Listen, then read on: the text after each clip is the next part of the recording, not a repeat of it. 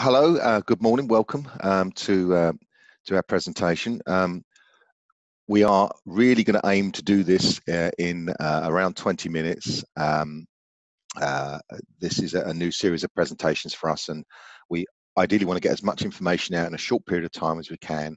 Uh, we don't want to tell you absolutely everything. We're hoping to be able to give you a short introduction um, with the aim that if you'd like to know more, we'll happily come in and give you more detail.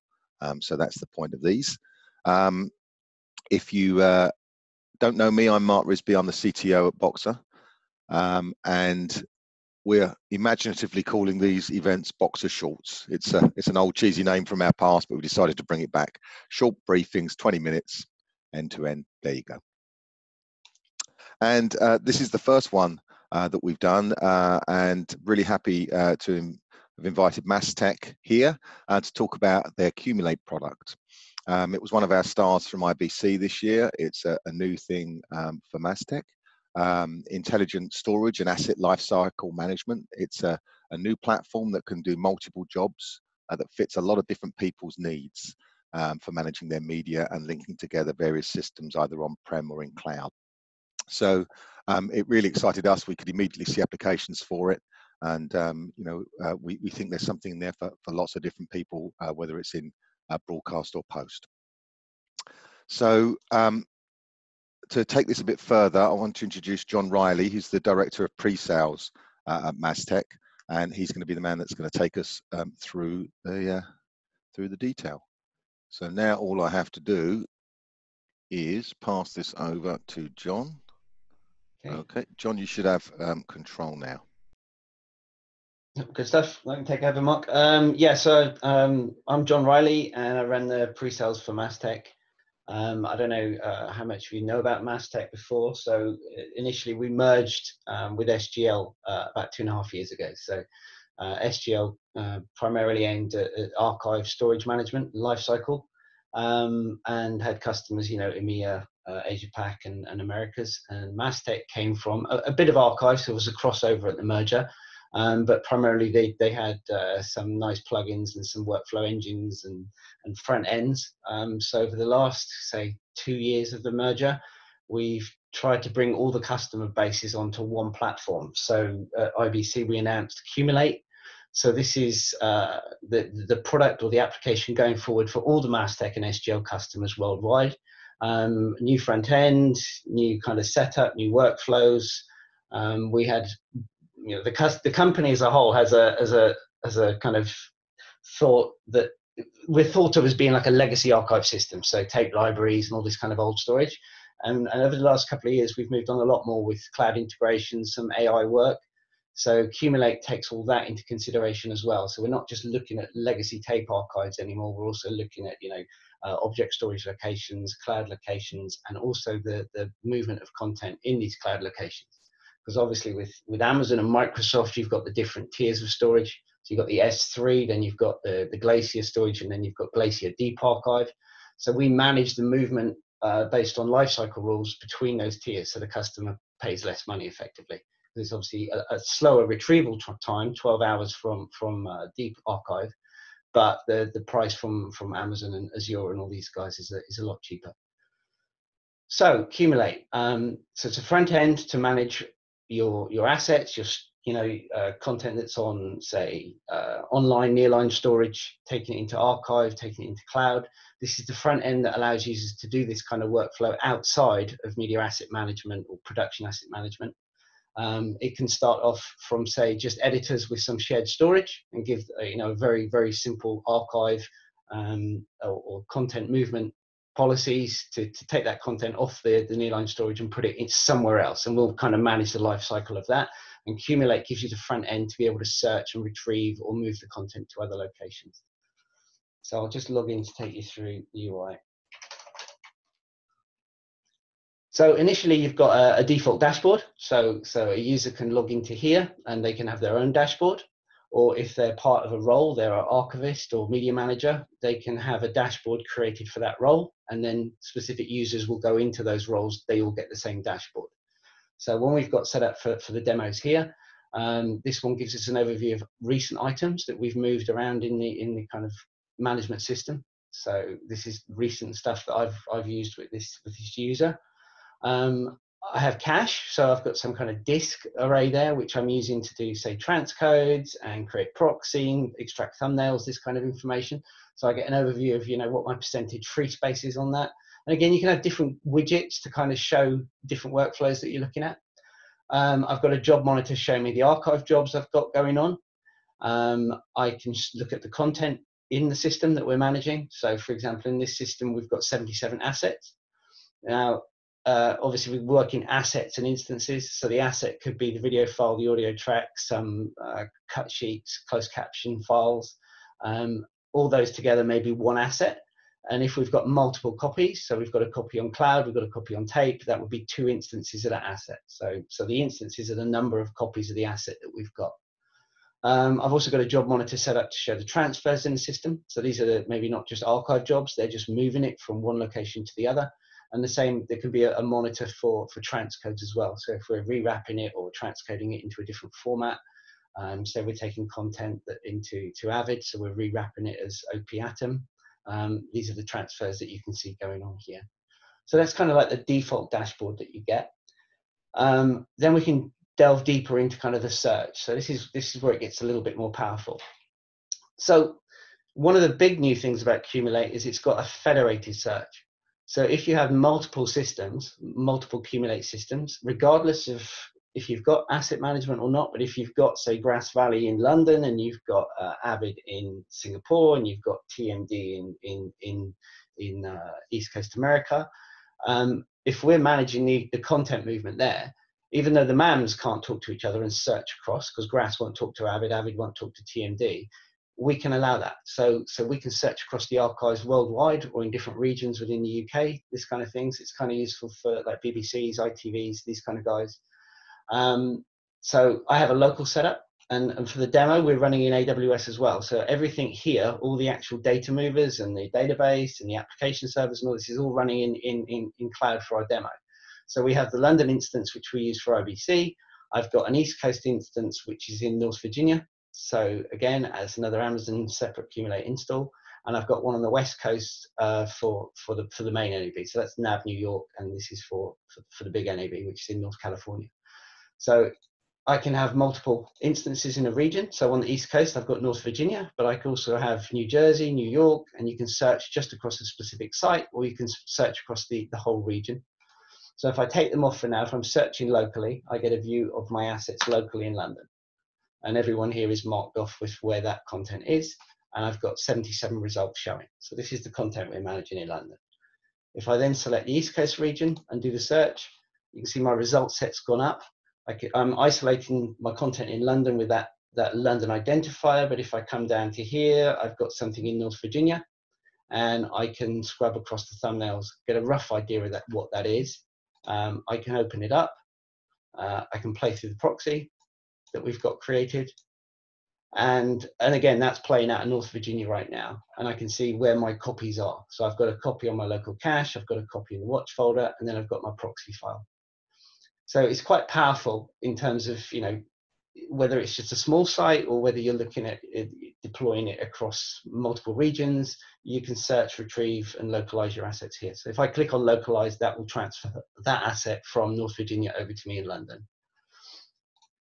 So back in the search, the, the views we get, so you can have the thumbnail view, so that views you know, each thumbnail for every site. Um, I can have, you can show the instance name, or I could put in different uh, metadata here to, to, display. So it could say the location of where that content is rather than the name of the content. Um, I can pretty much scrub across the files as well. So I can come into here and look for something. If, I know roughly what I'm looking for, I can get a, a more closer idea of what that content is. And again, by holding the Alt button, um, you can scrub across everything if you've got you know multiple similar clips and you're looking for something specifically. Um, from the search, we can do an advanced search. So we can go in and look for some specific metadata. So I could look, say, for an asset that has some metadata. If I drag this across here, so I could look for where it came from, so the source of the content, and I can give it a, an operator match and I can say look for something that say came from a watch folder and it's already filling out what it knows. So I've got my results set here. And if I do my search, that's everything that we've got located currently on a watch folder. So you can build these searches up and then you can save them here. So that user's got a save search if they're you know looking for content that's been archived in the last hour or moved in the last day.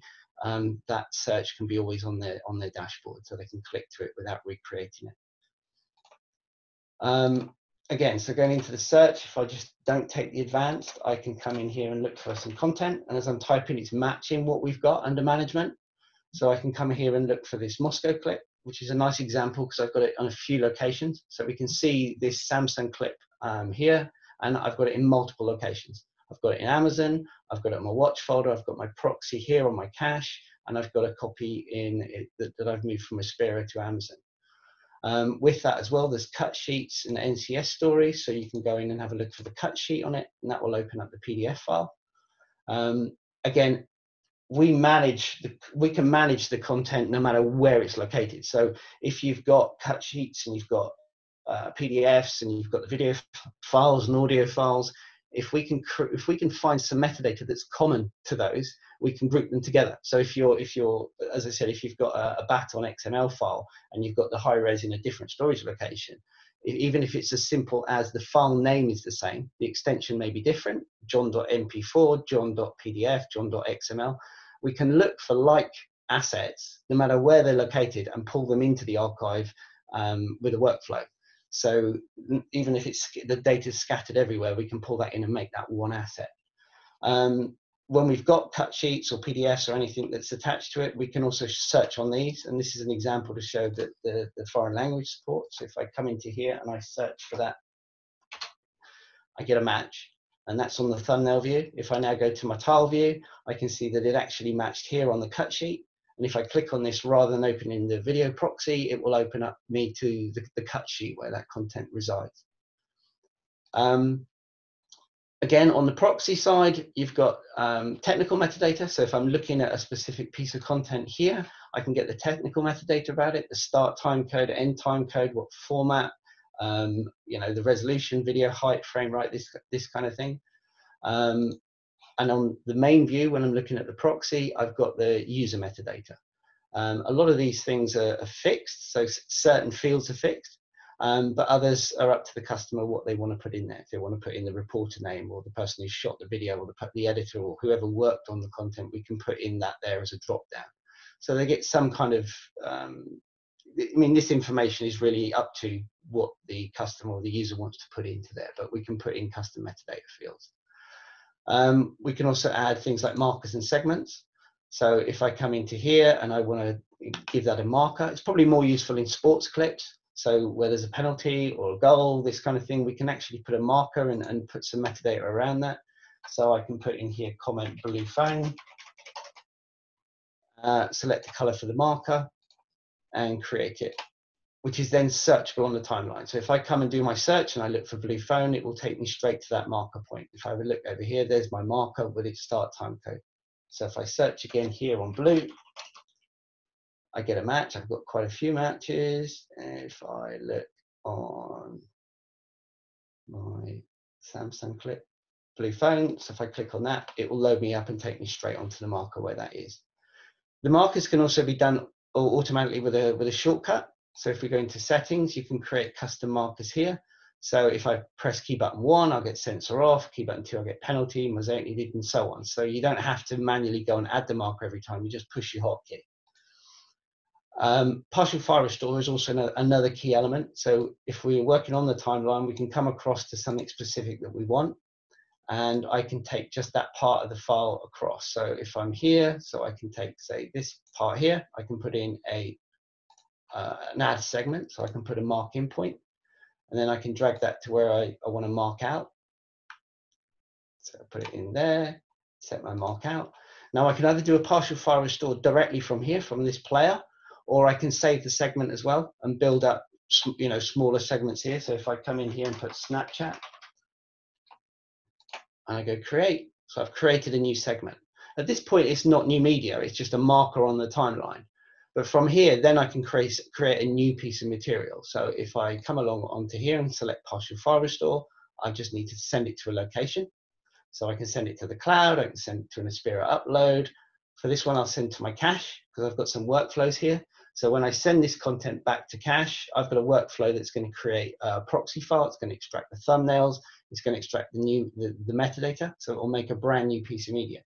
And if I come into here and click on normal for the priority, that sets me up a running job. So if I come into my job monitor, and if I search for Snap, so I'm looking for that specifically, over here, so we've done the partial file restore, it's MPEG-2, it's taken just that piece of content we want, it's extracted the metadata, so it's created a new start end time code, and then below these, I'm going to create the proxy file. So this is going to create from the MPEG-2 down to MP4 one megabit, and then it's creating the thumbnails as well, so I can scrub across it. So when I go back to my search and go for Snap, I get a new piece of material here. I click on that, and that, if I play it out, it's just that short create. And, and, again, that is a new piece of, of material that's in there. Um, the AI stuff, I wanted to talk a little bit about that. We've done implementations with Azure and Amazon and these kind of guys, uh, predominantly for ITV recently, um, where they've sent us, you know, clips of uh, this morning at Downton. We've sent the, the, the proxy file to Amazon, and uh, it takes I don't know probably depending on the size of the clip it can take up to an hour. This is a fairly large clip, um, and it feeds back to us any face recognition. So for this one, we set up with a with a face recognition on there, and it returns back to us when it's finding people, uh, you know, within that file. So basically, I can come along into here and search, say, for Holly Willoughby, and it will bring up all the locations where Holly, Holly Willoughby appears in different clips on there and we've done you know a, few of these files i've done it for some of the oscar clips and and, and this kind of thing so if i search in here for rami so on here i've got a match and again it matches on rami malek for the name if i click on that it will open up and take me to the segment where his face appears so we've also done um, speech to text conversion as well a lot of it is kind of hit and miss i mean i would say they're not all perfect yet it's just a, a, kind of showcase of what we can do and what we're looking at doing at the moment. I mean, it, it, it finds, I mean, there are some people here marked as unknown, which, you know, are quite famous. Brian May, for example, but didn't detect his face in that clip. But other places it does. I mean, it picks out Mike Myers here, picks out Rami Malek in the front, but, uh, you know, it, it's, it's not perfect, but, but that's down to really Amazon and, and the service that you use or, or Microsoft or whoever it is. But these are some of the things that we're doing with it. So that's kind of way to view the proxy, do partial file restores, put your markers in, this kind of thing. You can get an overview of your locations. So if I look at storage locations, I can see uh, these are ones we've got configured. So as I said, it could be an Avid ISIS we're monitoring, it could be a piece of cache, it could be a tape library, it could be cloud. You can come straight into the storage location, click on it and show the content that exists in that location. So it's just a, a you know down and dirty way to get to the assets. Um, and also with Kumulate, we added more reporting. So it's using Kibana. So um, effectively, you can come in here and, and get um, create these dashboards that will give you more information about the storage system and the archive. So this one's our job transfers. It shows, you know, the percentage of jobs we're doing between our cache and cognitive services. So that's the face recognition stuff. Transfers between um, Amazon S3 um, watch folder to cache movement. So these you, you, can create different things of what you want to see. You can you know look at your transfers in the last 24 hours, this kind of thing, and build and save these reports. Again, this one here shows the average speed in London, average speed in North Virginia, and any HTTP transfers we're doing. So th these reports again. Uh, this was the content one shows me again the types of content that I've got around the world in all the federated systems. So I can see, you know, 10% of it's OP for Avid. I've got a lot of proxy in there um, and these kind of things. So yeah, so Kumulate works in that way. Also, we've done a couple of other implementations into uh, Media Composer and into uh, Adobe Premiere. So I, I, don't know if we've got time, Marc, but um, I, I'll just see if I can share my Premiere screen. Let me just see here. Sure thing. We're close on our 20 minutes, but we're, we're going to give it a go. This is the first time, so we weren't 100% sure how, how we were going to be, so that's fine. yeah, no worries at all. So yeah, so in Premiere, you've got, you know, your normal, your normal kind of editor control. And in here, we've added our plugin. So Accumulate plugin. Um, so we can come in, log in, and it's the same with the Media Composer as well. You've got the same functionality within Premiere that you had in, in that web page. So it's just a plug into that. So I can search into here. I can look for specific assets like that Snapchat one, for example, and I can import that into, into Premiere. And you can say, right, where you're going to import it to, which project, and those markers and metadata fields that I put in, we can import those as well. So if I put that on, that will import the, the marker files that I put on the timeline into the Premiere timeline that opens up the job monitor. So effectively, you have the full power of Kumulate as the plugin within Premiere, just as you have with Media Composer as well. Yep, and uh, unless there's anything else, I'm I'm pretty good with the demo. If you guys are. That's brilliant, excellent. Thank you, John. I'll see if I can reclaim the screen. Yeah.